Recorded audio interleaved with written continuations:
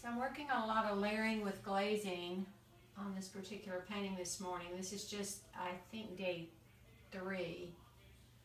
And it has a lot of layers to go.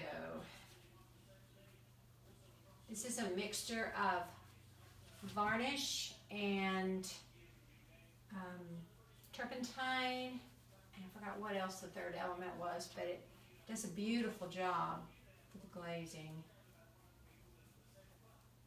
I have to thank my husband for mixing it because I'm pretty allergic to this stuff.